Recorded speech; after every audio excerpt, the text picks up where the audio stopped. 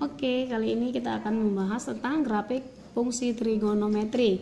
Oke, pada kali ini sebelum kita membahas grafik fungsi trigonometri, sebelumnya kemarin kita sudah membahas mengenai sudut-sudut istimewa. Nah, sekarang kita masuk ke satu grafik sinus. Yang pertama yang kita bahas nantinya adalah sinus y sama dengan sinus x, di mana x itu lebih kecil atau sama dengan 6, 360 dan lebih besar dari 0 derajat. Nah, maka kita masukkan nilai X-nya. X0 30, 60, 90, 120, 150 sampai seterusnya sampai 360. Nah, boleh juga kamu buat dalam bentuk V ya. Nah, jadi kalau kita susah untuk menggambar grafik sinus, ya kita coba dulu pakai tabel untuk membantu ya. Tapi kalau sudah paham boleh langsung gambar. Nah, kita lihat dulu kemarin udah kita bahas sudut-sudut istimewa. Nah lihat. Sinus x nya 0 y nya sinus 0 maka dari sini sinus 0 itu adalah 0 maka kamu tulis di sini kita buat. Oke sinus 30 itu adalah setengah. Sinus 60 itu adalah setengah akar 3 nah sinus 90 itu adalah satu. Nah sudah? Lihat. Sinus 120 itu adalah setengah akar 3 sinus 150 itu adalah setengah. Sinus 180 itu adalah 0 begitu juga dengan 210 sinus 210 itu adalah negatif setengah Sinus 240 itu adalah negatif setengah akar 3.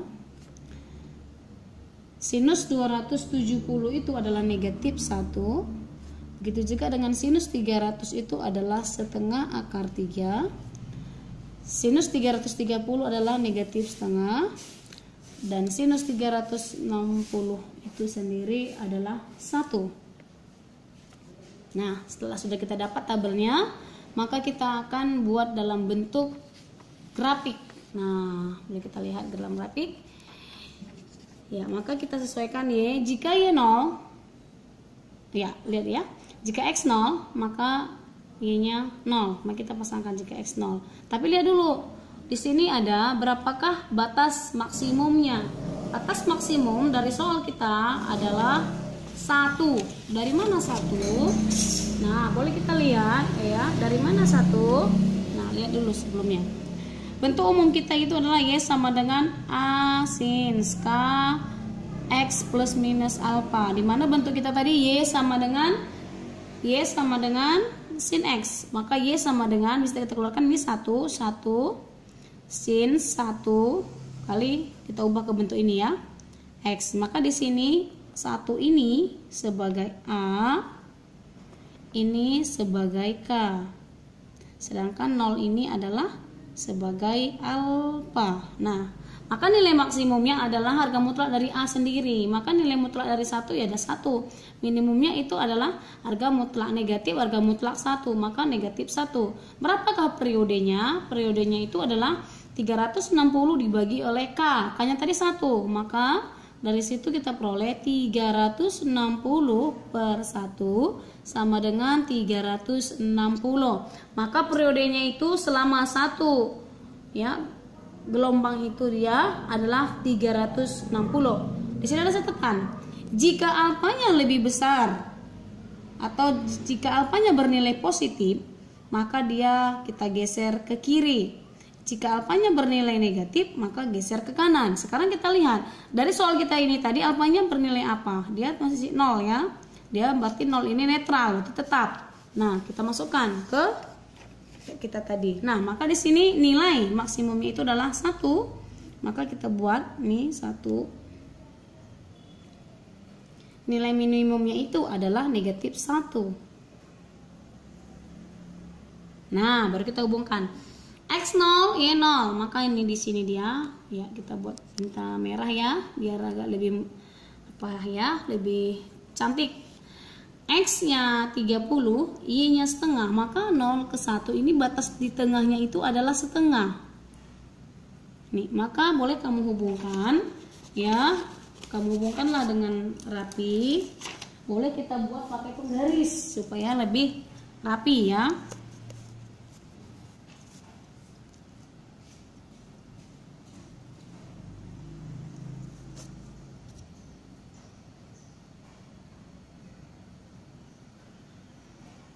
Ya.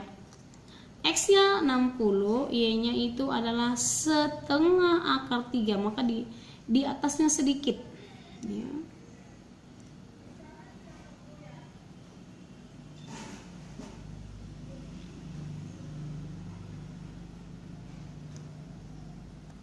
Nah, 90 90 adalah 1. Nih.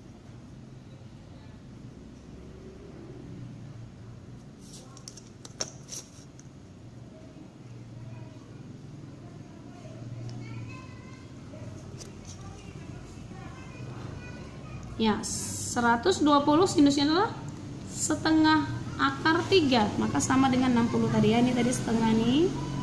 Ini adalah setengah akar 3. Nah, sama. Sama dengan 60. Ya. Maka kita tarik garis.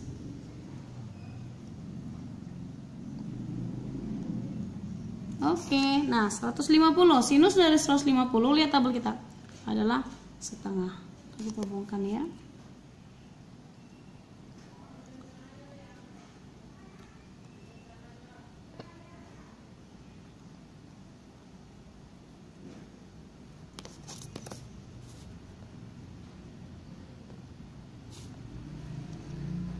Oke, 180 itu 0, maka dia tetap di sini.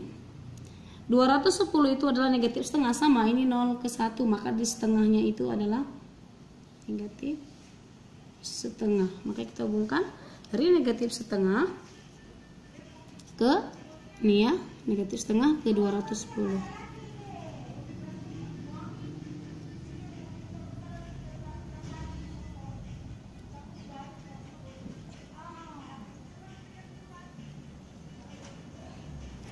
Oke, 240 minus setengah akar 3, dia di bawahnya sedikit aja.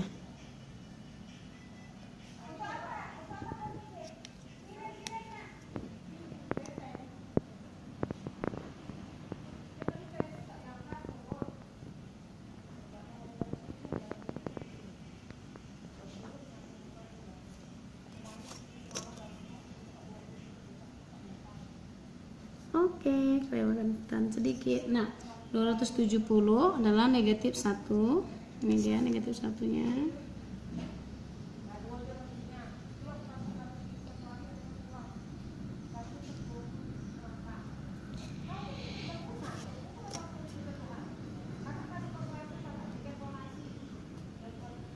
Oke, lihat ya.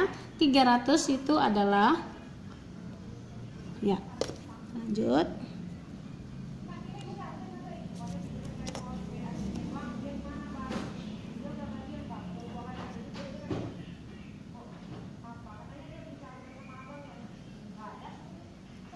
330 setengah. Ini dia.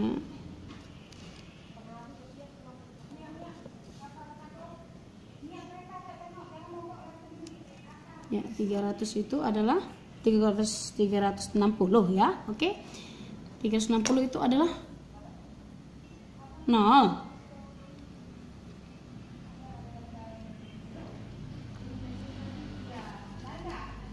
ya kita lihat ya 300 sinus dari 360 itu berapa?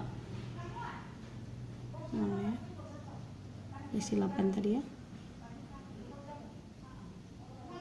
Oke, isi 8 ya.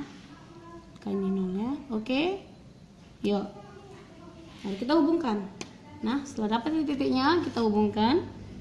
Ya, kita buat kupanya dari titik 0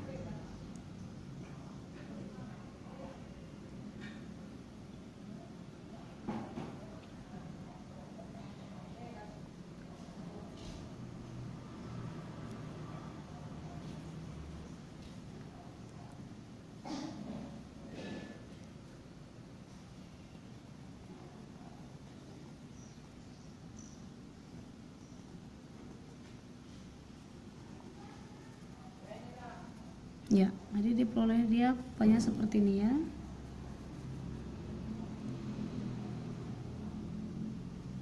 Oke, nah jadi untuk kurva grafik sinus sama dengan sin x ya diperoleh kurvanya sedemikian rupa maka sampai grafik sinus bisa dipahami ya bisa ya. Maka kita lanjut yang ke kita ambil contoh yang berikutnya oke kita ambil contoh nah, pertama. Sinus 3 sin 2x ya. Maka lihat di situ sinus 3 sin 2x ya. Kita lihat. Di situ yang mana mau kita buat? Ini tidak usah kita pakai tabel ya. Ini kita coba nggak usah pakai tabel. Kalau tadi kan pakai tabel nih. Kalau ini kita coba tidak usah pakai tabel. Kira-kira sudah bisa kita buat belum ya? Ya kita lihat ya. Nah jadi di situ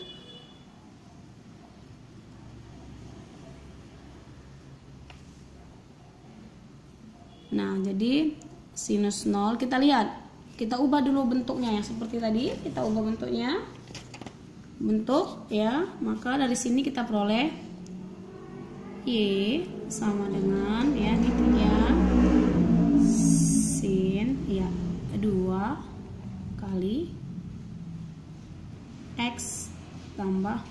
0 maka dari sini diperolehlah ini sebagai A nya ini sebagai K-nya dan ini sebagai alfanya. Nah, kita perhatikan, kita ambil di sini sudut-sudut yang besarnya saja 0, 90, 180, 270 dan 360. Nah, kita lihat seperti yang tadi sebelumnya sudah kita bahas. Nah, nih lihat kembali. Nih. Ya, ubah maksimumnya itu adalah harga mutlak A, minimumnya adalah negatif harga mutlak, sedangkan periodenya 360 dibagi oleh K. Nah, sekarang kita lihat di sini berarti nilai maksimumnya berapa? Maka nilai maksimumnya sama dengan harga mutlak 3, yaitu positif 3. Sedangkan nilai minimumnya itu adalah minus harga 3 sama dengan min 3. Periodenya berapa? Makanya periodenya 360 dibagi oleh K. Hanya sendiri itu adalah du, 2 maka dibagi 2 maka 180 ya. Satu gelombang dia itu akan mencapai selama waktu 180 derajat. Maka kita lihat batas maksimumnya 3 maka ini sini 3 minimumnya negatif 3 nah oke. Okay. maka kita tinggal memasukkan saja atau tinggal langsung pun kita gambar boleh jadi dari mana kita menentukan nilai e, maksimum nilai minimumnya ini maka kita buat kita hubungkan ya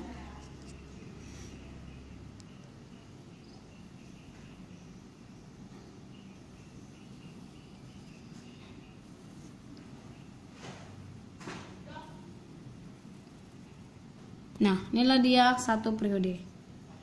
Saya satu 180 itu adalah satu periode. Jadi 180 itu dapatlah satu putaran atau satu gelombang. Kalau kita berbicara di gelombang pelajaran fisika ya itu namanya ada gelombang. Ya ada gelombangnya. Nah inilah dia dapat dia. Nah bisa nampak? Ya kalau kurang ya boleh kita terbalik perhatikan ya. Ini tidak susah Nah, bukan seperti dibilang beberapa oleh siswa susah sekali ini Miss, begitu ya. Ini tidak susah. Nah, sampai contoh yang nomor satu ya, kira-kira boleh dipahami kan dari materi kita ini tadi ya, karena tidak susah ya. Ini masih gampang. Nah, oke, okay. sampai di sini aja mungkin dulu pertemuan kita kali ini. Mudah-mudahan ini bermanfaat, berguna untuk kita. Matematika tidak susah, melainkan gampang. Kenapa? Karena pelajaran matematika selalu dipakai dalam kehidupan sehari-hari. Contohnya seperti materi kita ini dipakai pada saat kita mengukur getaran atau gelombang ya. Demikianlah materi kita kali ini. Mudah-mudahan bermanfaat. See you.